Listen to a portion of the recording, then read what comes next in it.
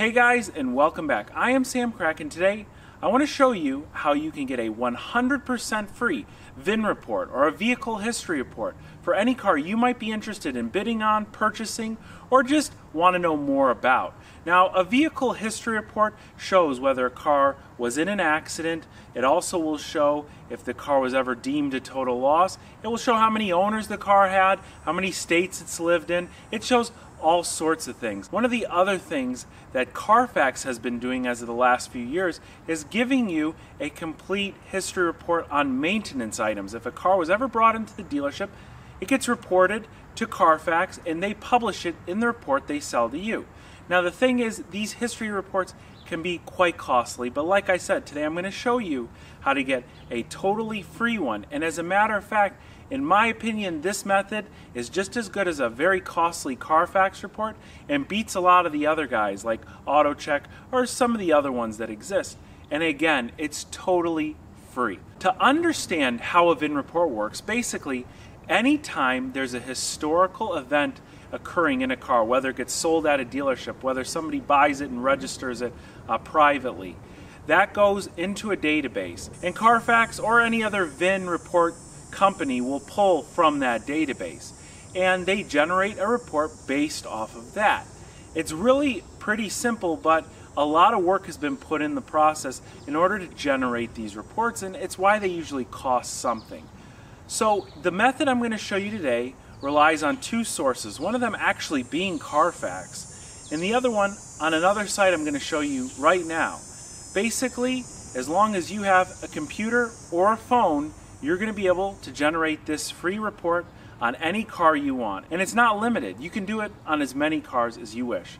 Let's hop on the computer and let me show you exactly what I'm talking about. All right, now we are on our computer and I'm going to compare two Carfax VIN reports that I purchased personally uh, to the free vehicle history report. So I'm going to show you how good and how close it is to Carfax. Let me show you here. This is the VIN history report to my 2007 Mercedes S600 that you've guys seen on the channel before.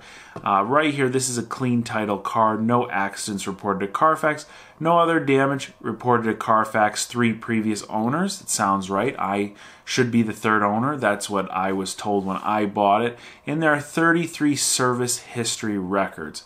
So that's basically going to the dealership, uh, going anywhere that reports a service history. We can go one, we can see the first owner purchased a car in 06, owned it for three years.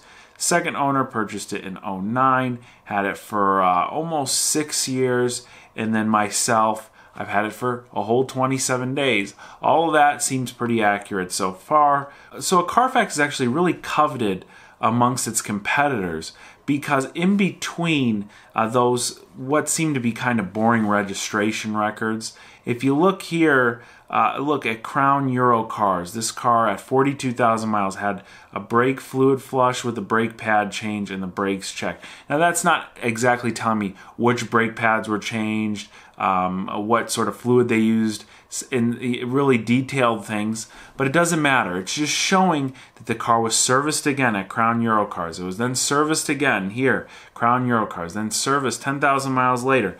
Continually, they they this car was serviced very well. It's one of the reasons I bought it. It had a good maintenance history at the dealership. That's always good to see when you're buying a used car. Now let's go to a salvage title or branded title car.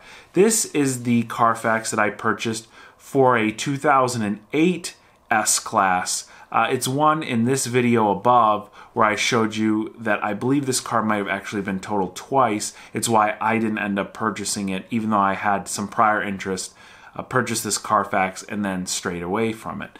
And again, we can go through this. You might have already seen this video, but we can continue down. And uh, this car was uh, here serviced at Mercedes-Benz of Bellevue. We go down and then at 20,000 miles, and uh, in 2015 it was declared a total loss uh, by collision damage and then as I showed in the other video here are some more total loss records. Again why I personally stayed away from this car. Again these are just used for example, showing you what a Carfax provides and why people tend to like Carfax. Now, the first website we'll be using for this process is called research.com. It's very simple. The link is in the description box below. Click right here to get a free report. We're going to enter our VIN number. Let's start with uh, my personal Mercedes, which should show up as a clean title. And uh, let's see what they say. We'll put it in here. We'll hit continue. And you can do this as many times as you like. There's no limitation to how many times you can run these free vehicle history reports. So our page loaded here. There are 91 records available. We got a green check mark, no accident, junk salvage, or insurance records uh, on this car. Now, here it says the day 2006 is when the car was made. At 32 miles, it surfaced here in Florida, uh, shipped over from Germany, and now it's showing us some uh, recalls on it. And then here we can match up with our real Carfax. Just for example, you don't need to obviously go buy the Carfax, but at 4,593 miles, there was a odometer a report that was of some sort of importance and we go back and look, that's when the car was sold. So obviously they're going to mark that down. Here we go. Here is another uh, mileage record of interest at 40,242 miles at BMW of Sarasota here in Florida. The car was listed for sale for $33,500 and had 40,000 miles. So this right here is going to give us our important odometer records like a Carfax would and pair them with the uh, history event that occurred at that mileage. So we can keep going down, see that there's no accident records, no previous uses, whether it was a rental. That's another thing Carfax will show you that some people are interested in. Was this car used as a rental car? Uh, was it used as a police car? Uh, so there's a lot of different things this free research.com report is going to give you, uh, whether it still has a lien on it, uh, whether it was obviously salvage. And here is uh, one of the sales records. It's showing you here that it did sell at BMW Sarasota back in 2015. I bought it from the individual that bought it from there. So we can go down. It gives us some of these market value calculators you can use those if you wish. I tend to think that, especially an odd car like this, doesn't fit into the price range that they give you. Usually they're either too high or too low. So that's our first half of the free vehicle history report.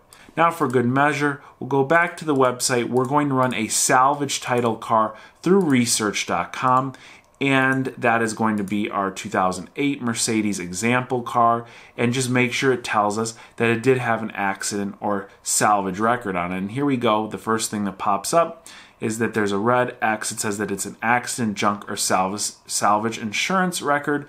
And of course, on my channel, we talk a lot about salvage cars, bidding on salvage cars. So if you see that and you're expecting it, of course, you want to see that. But a big thing for you to keep in mind a lot of clear title auction cars were still a total loss at one time.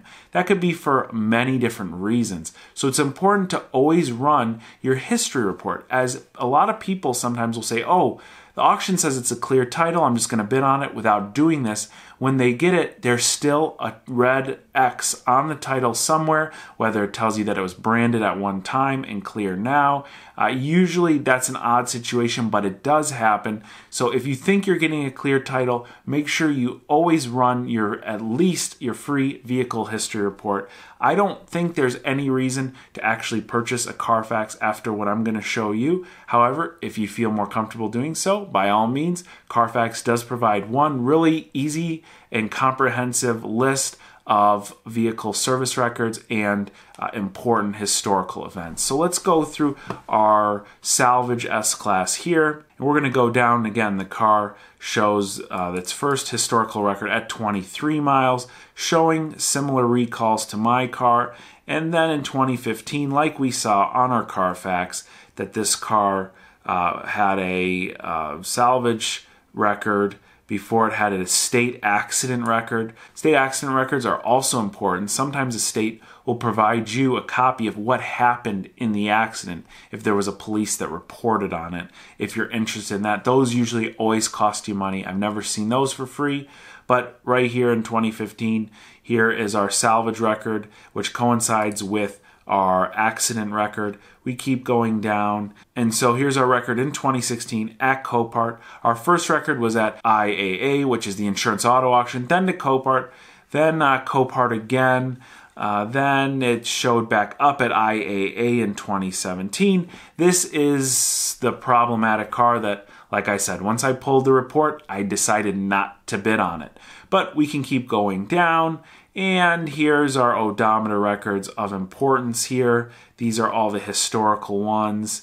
And if we keep going down, here is our accident record. It was in King County, Washington, which I said previously that, you know, the state usually charges you for more detailed accident record. This is actually very good accident record, showing you that the type of crash was a property damage crash it said that uh, the posted speed was 30 miles per hour they got into the crash. This is kind of uh, interesting stuff, and to get it for free, you really can't beat it. So we'll continue down, and it shows you previous vehicle uses and incidents. Of course, it shows nine accident or salvage records and uh, that doesn't mean it was total nine times. That just means that nine times there were accident uh, historical events. So that could be it going to a salvage auction. It could be the accident itself. It could be the police report. It could be a bunch of different things. So here's nine accident salvage uh, records. Here are the more detailed junk salvage or insurance records. One, two, three, four, five of those.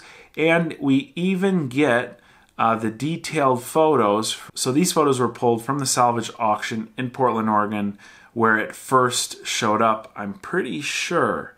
Uh, so take a good look at those. You can see that nice front end damage, leaving pretty much the whole entire front end and that frame trashed on this car. So this research.com report is actually, in my opinion, more comprehensive than Carfax the only thing is, it might be a little bit more difficult to read for the average consumer because there's just so much data in it. However, that's not a bad thing. Sift through it all and for free, you can have a ton of information on your car. Now, what research.com didn't show us was any sort of service records the car might have had. And while you can usually call up a dealership, provide them with a VIN number, and get any service records, sometimes you might not know the dealership the car was serviced at, especially if the car is at auction, you're not buying a private party. That's where My Carfax comes in. The link to My Carfax is in the description box below, and when you first go there, you're going to be prompted to sign up right here. Now, I already have an account. I'm going to log in, and then I'm going to show you exactly what you see and how to take the VIN number of my personal car, load it into the system, and then utilize it in my Carfax to see any sort of uh, maintenance history that was done on dealerships on my specific car or the car you're looking at. So now I've logged into my Carfax and you can see already here, this is my garage. It allows up to eight cars. But of course, when you're done uh, looking at a car, say you decide not to purchase it or you're not interested in anymore, you can just go right here where it says edit garage, click the delete button and then click done. It will get rid of that car and free up a space. So let's hit cancel on this because I want to keep my car in my garage. This is my personal 2007 Mercedes S600.